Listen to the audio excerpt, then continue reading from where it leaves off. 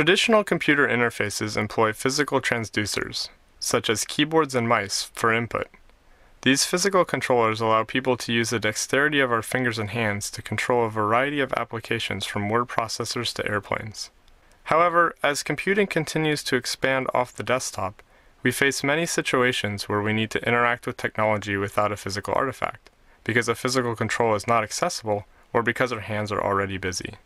The muscle computer interfaces we present here allow a user to interact with the computer using hand and finger based input without holding physical input devices. We use forearm electromyography, or EMG, to directly decode muscle signals from the surface of the skin.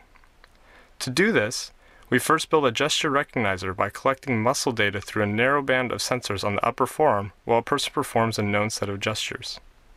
This gesture recognizer can be used with the band of sensors in real time to detect actions performed by the hands and fingers.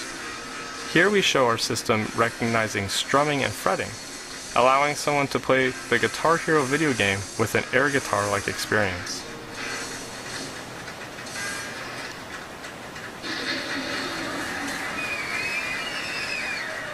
In our paper, we present the results of a laboratory study of our system's ability to recognize gestures with empty hands, when we are carrying heavy objects, and when our hands are busy with other objects.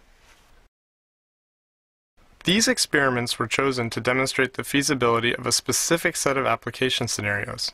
For example, a muscle computer interface could be used to control a portable music player while engaging in an activity such as jogging.